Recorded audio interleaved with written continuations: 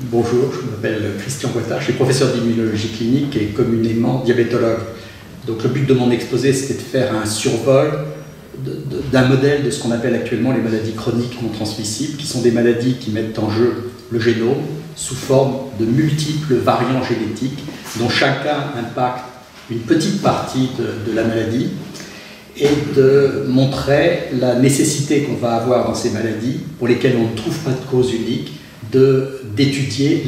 l'interaction entre ce génome qui comprend de nombreux gènes et un environnement qui intervient de façon extrêmement multifactorielle. C'est vrai dans ce qu'on appelle communément le diabète de type 2, qui est la forme la plus fréquente euh, de diabète, et dans laquelle un certain nombre de paramètres biologiques commencent à dire qu'il comprend probablement des maladies euh, différentes.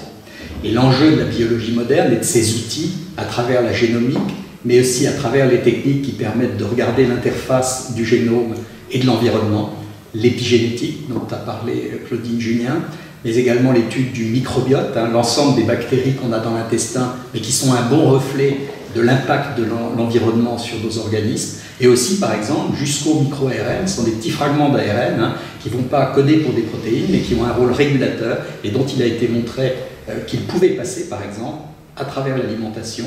de plantes à euh, nos cellules. Euh, et puis,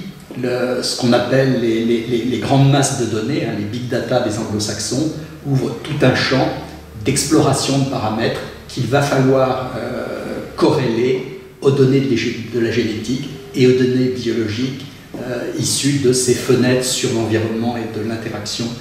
qu'il a avec le génome. L'enjeu, c'est clairement une meilleure compréhension physiopathologique et une adaptation des traitements qu'on donne en fonction des sous-groupes de maladies qu'on va identifier. C'est exactement le même problème dans le diabète de type 1, qui est une maladie de nature différente puisque c'est une maladie euh, auto-immune. Euh, l'enjeu du diabète de type 1, c'est de trouver des marqueurs biologiques euh, qui en permettent un, un, diagnostic plus fin et éventuellement le diagnostic de sous-groupes de la maladie. On sait déjà que le diabète de type 1, dans ses formes communes, n'est pas induit par un facteur d'environnement multiple, euh, d'environnement unique, même si de multiples facteurs d'environnement peuvent soit induire, soit protéger vis-à-vis de la maladie, et ça a été bien montré dans, les, modèles, modèles animaux. Euh, l'objectif, hein, ça va euh, vraiment être de mettre en place des marqueurs diagnostiques précoces, deuxièmement d'étudier l'interaction du génome et de l'environnement à travers les mêmes techniques que dans le diabète de type 2, et probablement pour aboutir au fait qu'on va trouver des formes de diabète de type 1 qui ne sont pas toutes les mêmes, et on sait déjà aujourd'hui par exemple qu'on a des formes très particulières qui sont induites par certains euh, traitements euh, anticancéreux.